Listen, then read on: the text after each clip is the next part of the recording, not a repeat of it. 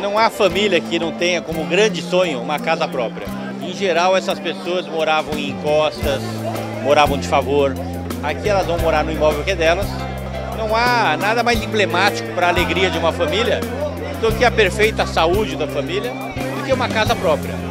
É uma satisfação muito grande estarmos aqui hoje representando o nosso governo do estado na entrega de mais 80 unidades aqui nesse projeto de Caneleiras e que a partir de hoje vão passar a morar em moradias dignas, vão ter toda a segurança, todo o conforto, vão fazer uma mudança radical nas suas vidas. São unidades habitacionais diferenciadas, com acabamento diferenciado, piso em toda a unidade, paredes texturizadas, é, rede individualizada de água, luz, é, de gás, né, forro nos apartamentos, ou seja, todo o apartamento caprichado, preparado com carinho especial e com material de melhor qualidade para entregar para essas famílias. Só temos que agradecer porque é um sonho, não só nosso, como criar os nossos filhos num lugar melhor.